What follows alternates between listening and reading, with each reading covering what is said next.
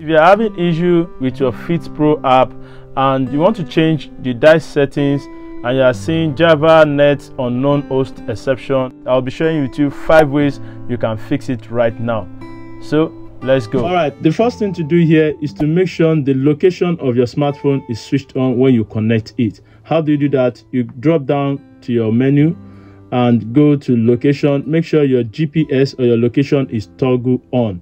Once you toggle on this way, the next thing to do is to make sure your mobile data or your Wi-Fi is toggle on. Here, I'll be using my Wi-Fi. So if you have your mobile data, please check if you have data on it or your data connection is present. As you can see here, it says no internet. I have to connect it before it is going to work so that I won't receive that error message again. Now, if you have done that, you can now check if your dial setting will open up if you try it and it opens up that means you have done the needful. But if you try it and it is still not working for you maybe you're experiencing difficulty and it's still showing you java issue or whatever then the next thing to do here is to uninstall fit pro app.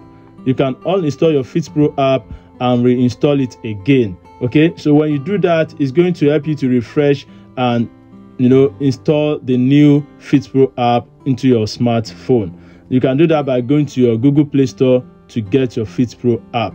And if you have done that and it's still not working, the next thing to do is to try and use another phone. Sometimes it may just be the phone you are using that is causing the issue. Go and use another phone. Find another phone. You can use an iPhone or another Android around you. If you have done that again and you are still experiencing the issue of Java error from your Fitpro app, then the next thing to do is to use another app. Sometimes the issue might be from the FitPro server, okay? So maybe you are trying to do your dial settings and it is not working for you. It may be from the FitPro server end, not from your smartphone or your internet connection or your app, okay? So you have to wait for some times and it's going to come up. Sometimes you just need to do that. So like now, as you can see, my dial settings has loaded up because I've switched on my Bluetooth, I've switched on my data, and I've switched up my location. So that has actually helped it. Sometimes it may be just from FitPro server.